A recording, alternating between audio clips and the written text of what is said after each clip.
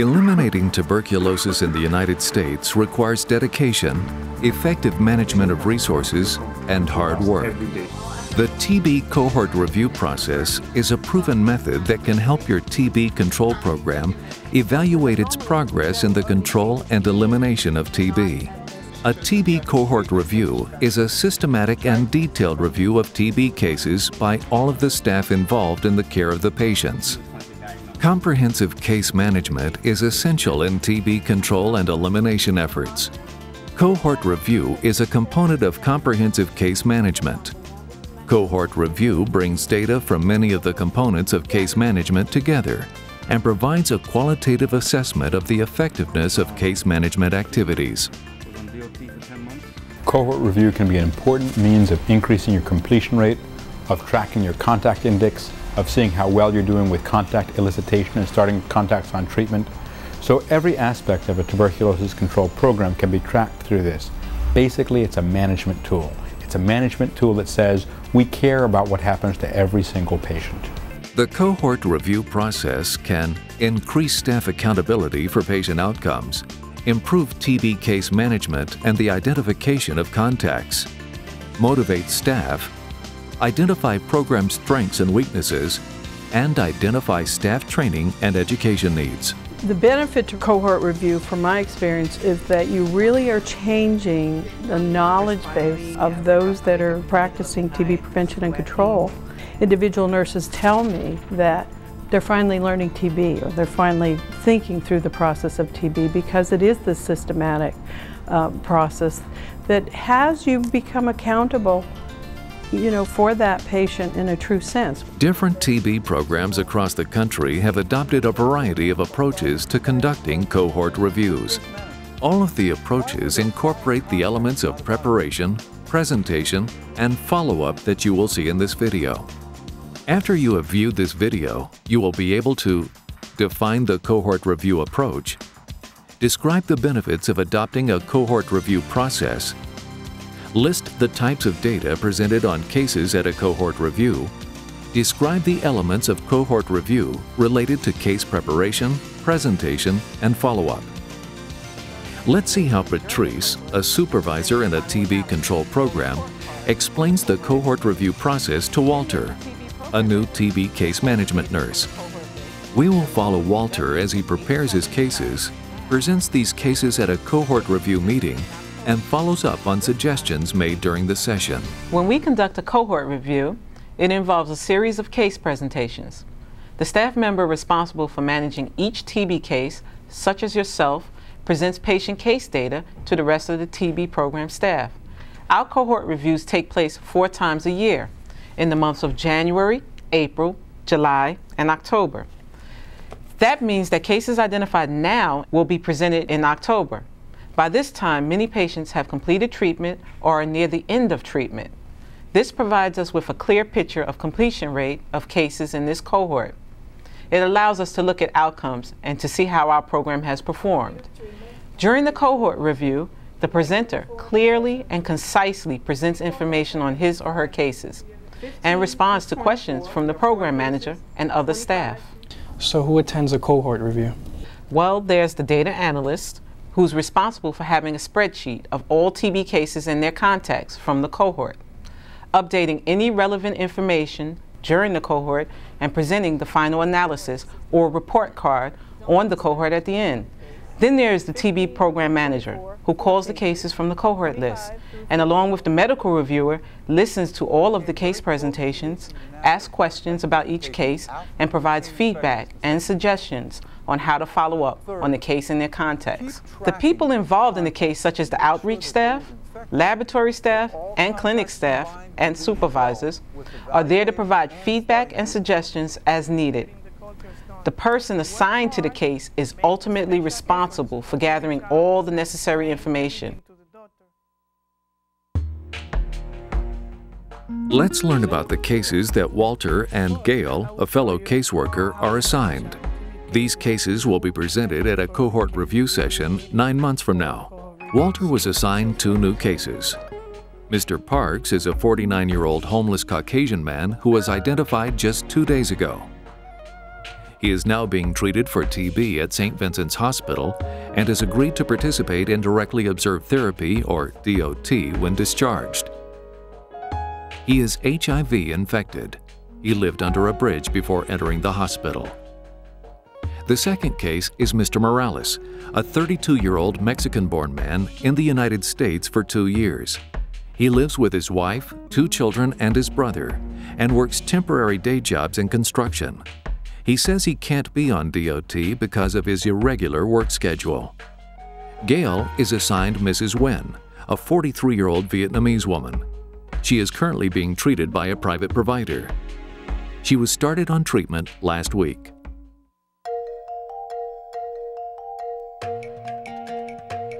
At a case management meeting two weeks later, Walter and Gail update their supervisor on the progress of their cases. Effective and routine case management is an essential element of preparing for a cohort review. So, how were the past two weeks? Oh, pretty good, I think. I was able to meet Mr. Parks, the homeless patient, while he was in St. Vincent's Hospital. I've been meeting him at the shelter on weekdays for DOT.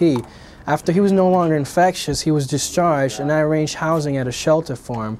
When I interviewed him in the hospital, he was only able to identify two contacts, guys who stayed under the bridge with him.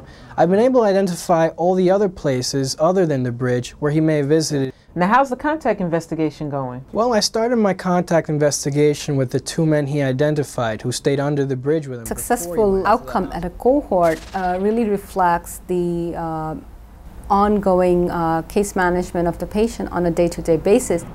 And the value of the cohort review process in New York City is the ultimate method of ensuring accountability for each and every patient with tuberculosis.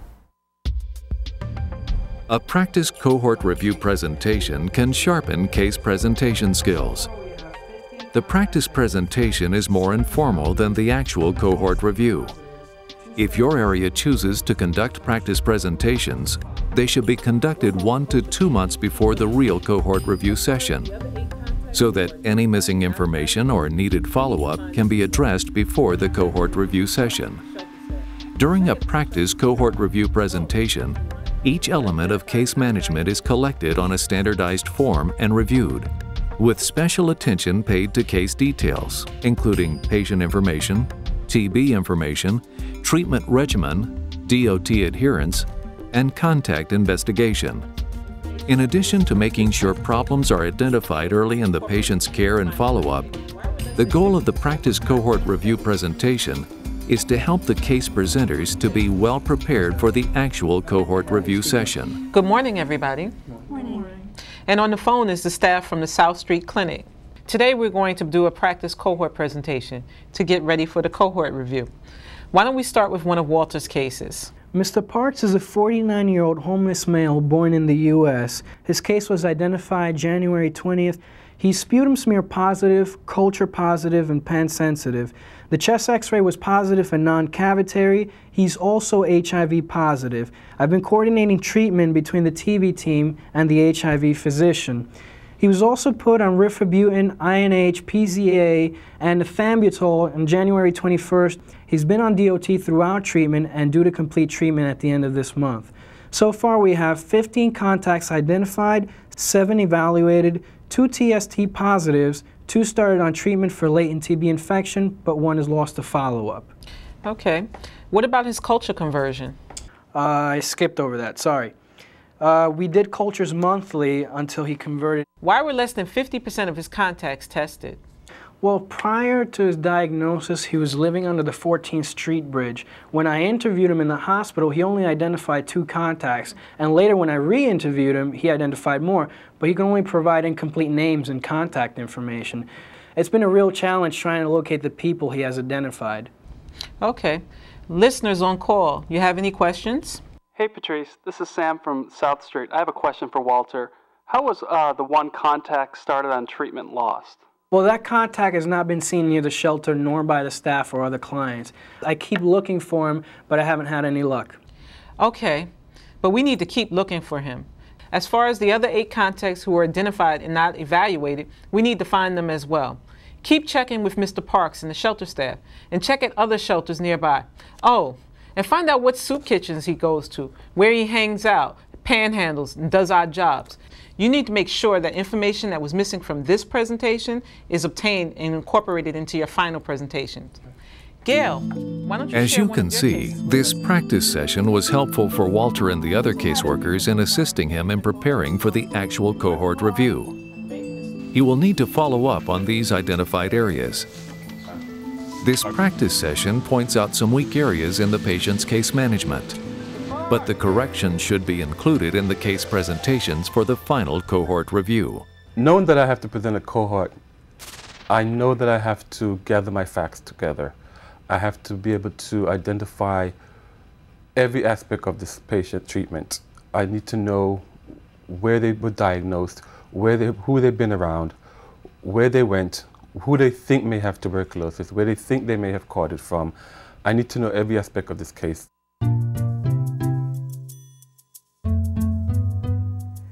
For this cohort, The cohort review session starts with the TB program manager or other TB staff member summarizing the demographic information for the current cohort. Here's the age breakdown for the quarter. For less than five, there are two cases. Ages Then the TB program manager will conduct a case by case review of the patient outcomes, with the details to be presented by each patient's case manager. 45 to 60. The case presentations and discussion will take up the majority of the session. Let's move to the first case, Mr. BP. We have a 49 year old homeless male born in the U.S. The case was identified January 20th. To set up a cohort review process, the concept is really very simple. You start with a list of patients. You start at the top, you go to the end, and then you stop. And so what you need first is enough time, because it can take a lot of time. Second, you really need to listen. You need to listen to what the staff are saying, to what problems they're having, and you need for staff to be listening to patients for those same things. What are the problems? How can they be overcome? It's identified 10 were evaluated, 2 were TST positive with no disease. One is likely to complete treatment for a latent TB infection next month, but one was lost to follow up. Why were there five contacts not evaluated? Well, the patient lived under a bridge for six One of the challenges to this are going to be that when you actually start looking at every patient at that level of detail, you're going to find that many things that you should have done were not being done. And it's really, um, you're going to be shocked probably, you know, if you're the program director. Did the client stay at any other shelter during his infectious period prior to his hospitalization? Well, the two The purpose of cohort is not just to present the case, it's discussion. The, during discussion, we are free to ask any question to doctors, to director of the bureau, and we like the atmosphere in the cohort because our doctors is help us to keep in the focus whatever we need to see and whatever we have to discuss. Next case, TN. 43 year old Vietnamese female in the US for three years. Case identified January 18, 2000. To have that time commitment of having direct care staff sitting with medical staff, which we don't do in our hurried and busy lives, that's where real learning and education and a, a real team and, and, and almost a bonding in this work occurs. And it, and it wouldn't occur in any other process if we didn't stop and do this cohort process and review. Provide continuation of treatment and I see the cohort as actually an educational experience for me. I learn what is it that staff are doing. Uh, you know, it really tells me how, what are the issues that were there for every patient, and uh, what are the barriers that staff faced, and really all the things that they accomplished. To cooperate with the health department.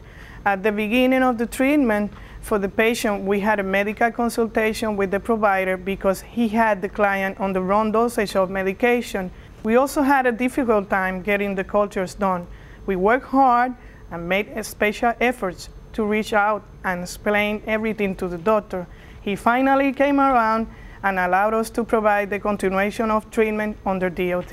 We've had some issues with some private providers prescribing inappropriate regimens and dosages. Sometimes working with the private providers can be challenging. Let's put this on the agenda and talk about it at our next staff meeting.